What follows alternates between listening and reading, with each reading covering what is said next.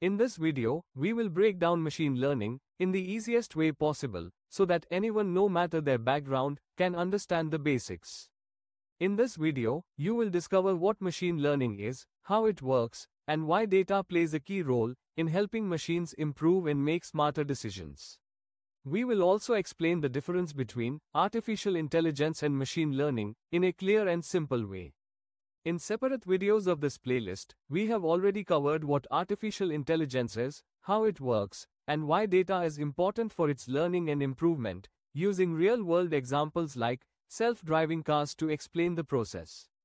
To better understand artificial intelligence and machine learning, make sure to check out the other videos in this playlist. Now, let's dive into machine learning and explore how it works. What is machine learning?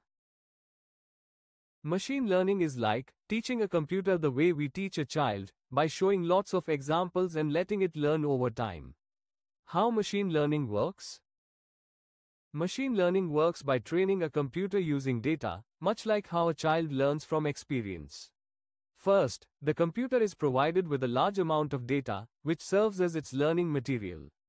It then analyzes this data to identify patterns and relationships.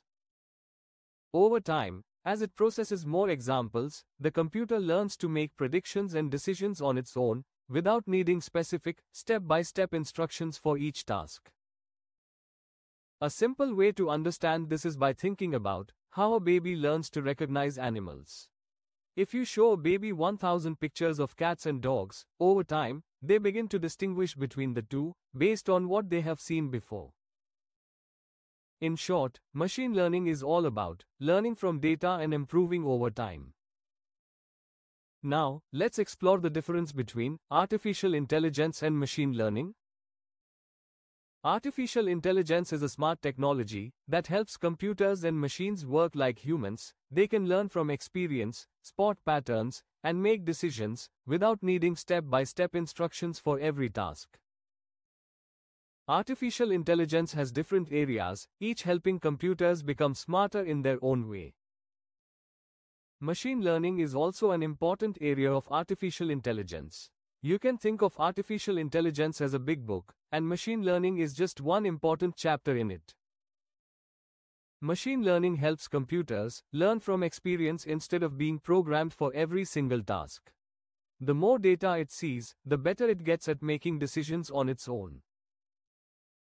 We will explore other areas of artificial intelligence in separate videos, where we will break down each topic in a simple and easy to understand way. Now that we've learned about machine learning, how it works, and how it's different from artificial intelligence, let's move on to the next videos. In the next videos, I will talk about more important artificial intelligence topics in a simple way.